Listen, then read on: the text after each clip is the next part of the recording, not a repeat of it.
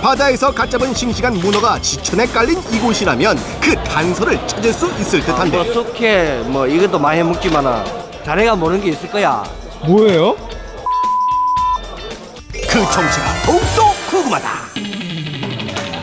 포항에서만 맛볼 수 있다는 문어 요리를 찾아 한달음에 달려온 이곳 등장하는 자태만 흘끗 봐도 어? 문어 맞네 맞아 한데 대체 뭔가요? 살포시 잠겨 있어요. 지금 드시는 게 뭐예요? 그대로 접시에 앉은 것처럼. 문어 연포탕이에요. 포항에서는 이렇게 문어로 연포탕을 해 먹어요.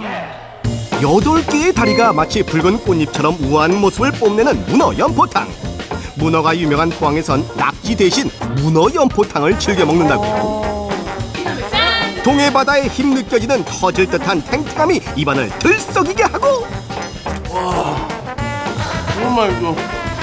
그렇지 시원하다 요즘 날씨가 쌀쌀한데 이런 환절기에는 이 국물 딱 먹으면 어.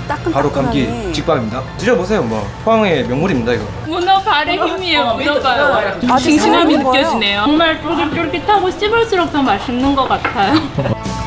자 그렇다면 이제 그 맛의 비법을 파헤쳐 봐야죠 아무나 주인공이 될 수 있었다면 그 명성이 따라올 수 없었을 터 문어는요 쑥문어보다가 암문어가 더 맛있거든요.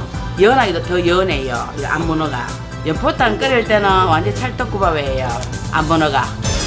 갓 잡은 암문어만 골라 깨끗하게 손질 본격적인 요리에 앞서 한 차례 몸단장을 거치고요. 자 이제 문어 연포탕의 깊은 맛을 좌우할 육수 만들기에 들어갑니다.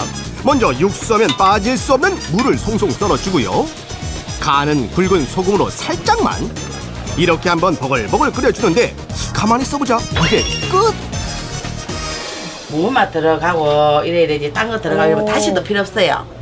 무조건 이래, 이래 무 넣고 소금 넣고 이래 끼리면 포항문어 진짜 맛있어요. 화려한 재료도 요란한 치장도 필요 없다. 문어. 본연의 맛을 그대로 살리는 것이 관건. 어, 또 하나 잘라 먹는데도 방법이 있는데요. 이것이 바로 비법 커팅. 손님들 자르기도 힘들고 미끄럽고 이러고 자르는 것도 길이 있어요 머리 옆에 딱딱 자르고 다리 하나하나 고루 잘라야 돼요 장인 정신으로 하나하나 잘라냈으니 이제 젓가락질에 시동 한번 걸어볼까요?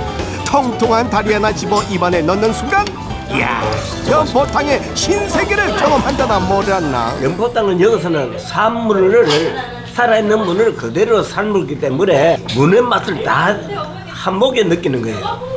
우리 연포탕에는 뭐 포항 문어가 들어가고, 그 다음에 청양 고추가 들어가고, 뭐 이래 되면 뭐가 필요하겠어요? 그냥 좋습니다.